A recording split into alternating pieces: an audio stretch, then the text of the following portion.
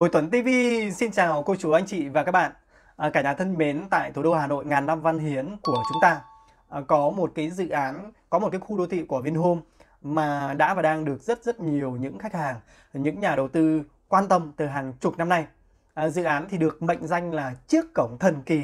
mở ra sự kết nối giữa Việt Nam và các cái quốc gia trên thế giới. À, và điều đặc biệt hơn, à, dự án chỉ cách sông Hồng hơn 2 phút di chuyển mà thôi. À, vâng cả nhà thân mến, nói đến đây thì chắc chắn là à, tất cả chúng ta đã đoán ra được đây là dự án nào rồi phải không ạ? À, vâng, chính là dự án Vinhome Global Gate của Loa Đông Anh. Ngay bây giờ Bùi Tuấn TV xin được mời cô chú anh chị và các bạn hãy cùng tìm hiểu các thông tin tổng quan về dự án, tiến độ xây dựng và thời gian dự kiến ra hàng trong năm nay nhé. Vâng, cả nhà thân mến, đây là tiến độ mới nhất của Vinhome Global Gate cổ loa Đông Anh, được Bùi Tuấn cập nhật vào tháng 4. À, ờ, như chúng ta đang nhìn thấy thì dự án đang được gấp rút xử lý mặt bằng. Các nhà thầu đang tập trung khẩn trương xử lý các cái hạng mục mà mình phụ trách. À, dự án thì được quy hoạch thành ờ, hai phân vùng. À, phân vùng thứ nhất đó là gồm à, trung tâm hội trợ triển lãm mới à, với ngôn ngữ thiết kế hiện đại mô phỏng cánh hoa sen, à, một trong những loại hoa à, mang đậm bản sắc dân tộc Ờ, của Việt Nam chúng ta phải không ạ? Và phần phụ trợ của cái hạng mục này thì bao gồm à, tòa khách sạn Vinpearl,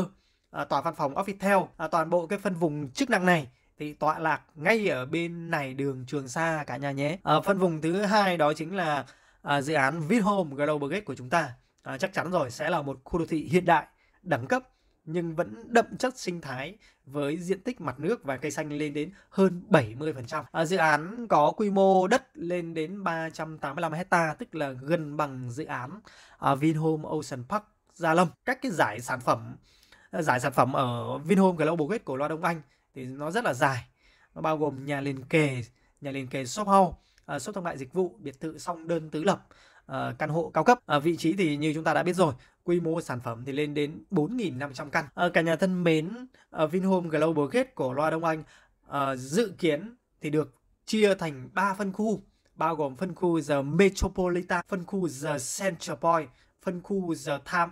Avenue. À, Bùi Tuấn sẽ cập nhật chi tiết hơn khi mà Vinhome công bố vì theo kinh nghiệm của Bùi Tuấn với một cái quy mô lên đến 385 hecta à, Bùi Tuấn dự đoán ít nhất là sẽ dự án sẽ được phân chia thành 5 phân khu về hệ thống tiện ích thì dự án tích hợp tất cả hệ thống tiện ích nằm trong hệ thống sinh thái của Vingroup à, bao gồm hệ thống trường học liên cấp Vincun này, hệ thống trung tâm thương mại, Ờ, hệ thống Vinmec, hệ thống trung tâm hỗ trợ sạc xe điện và rất là nhiều những cái hệ thống tiện ích ờ, khác mà đang ờ, được Vinhome triển khai trong cái hệ thống sinh thái của mình. Về sản phẩm thì như lúc nãy Bùi Tuấn có trao đổi ở trên thì dự án có một cái giải sản phẩm rất là rộng. Thì nhà liền kề shop house có diện tích trải dài từ 62 lên đến 152 mét vuông đất, biệt thự uh, tứ lập này, song đơn lập có diện tích từ 130 đến hơn 300 mét vuông. Ờ, shop thương mại dịch vụ thì sẽ được phân bổ uh, uh, đồng đều trong các cái phân khu. Uh, cả nhà thân mến, uh, với một cái vị trí đắc địa là cạnh dòng sông Hồng lịch sử, nơi mà cung cấp phù sa, uh, sự thịnh vượng tài lộc và một cái không gian trong lành lộng gió.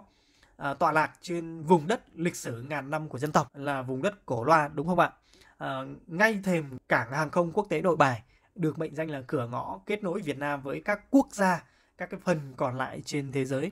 à, trong dự án thì có trung tâm hội trợ triển lãm này, có liên tục tổ chức các cái sự kiện giao lưu, triển lãm, à, kết nối các cái sản phẩm, các cái dịch vụ à, nơi mà các cái startup của không những của Việt Nam mà của các quốc gia khác liên tục được tổ chức các cái sự kiện và cuối cùng là cái sự uy tín và cái cách quản lý luôn gia tăng lợi ích cho cư dân cho các nhà đầu tư thậm chí cho những khách du lịch đến chơi đến tham quan nữa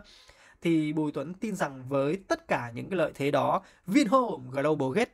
cổ loa Đông Anh sẽ là một khu đô thị đáng sống, đáng đầu tư nhất trong năm 2024 và những năm trở về sau. À, một lần nữa xin cảm ơn cô chú anh chị và các bạn đã theo dõi hết video. À, xin chúc à, cô chú anh chị và các bạn một ngày thật là nhiều niềm vui rực rỡ. Xin chào và hẹn gặp lại trong các cái video lần sau.